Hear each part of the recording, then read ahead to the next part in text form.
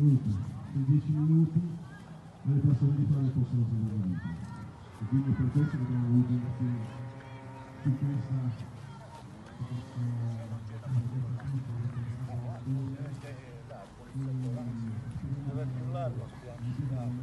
qui c'è il nastro, piazziamo